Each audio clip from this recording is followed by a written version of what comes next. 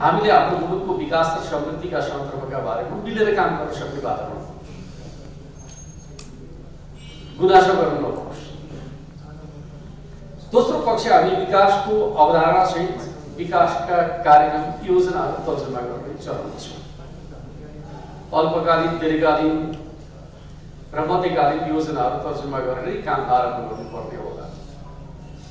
त्यसका सन्दर्भमा पनि तपाईँहरूका सुझावहरू हाम्रो लागि अपेक्षित छन्।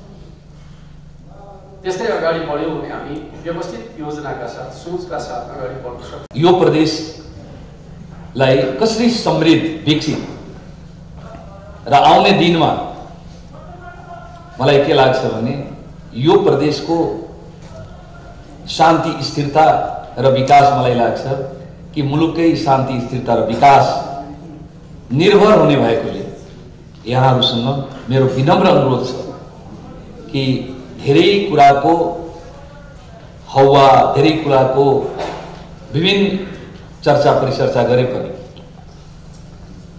त्यसलाई उपयुक्त वातावरण बनाउँदै लगानी मैत्री वातावरण तयार गर्नु मेरो जिम्मेवारी हुनेछ र यसमा म हर सम्भव प्रयास गर्नेछु र यहाँहरूको भरपुर सहयोगको अपेक्षा गर्दै मलाई लाग्छ निजी लगानीकर्ताहरूको बाटो खुल्छ र त्यसको लागि तपाईँहरूको बिचमा भन्नुपर्दा केन्द्रसँग समन्वय गरेर कयौँ चिजहरू केन्द्रसँग कानुन बनाउने कुराहरू र केन्द्रसँग समन्वय गरेर जाने कुराहरू छन्।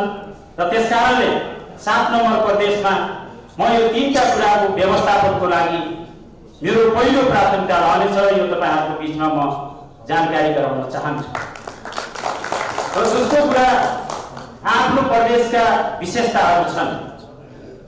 सात नम्बर प्रदेश विगतदेखि सबभन्दा पिछडिएको प्रदेश हो यो हामी सबैलाई थाहा छ। र मैले यो कुरा धेरै भनिरहनु पर्दैन। र हामीले त्यहाँ प्राकृतिक स्रोतहरू जो छन् र त्यसको सही व्यवस्थापन गर्ने कुरा त्यसमा चारवटा कुरालाई मैले मुख्य रूपबाट उठाएको छु जसमा तपाईँहरूको आवश्यकता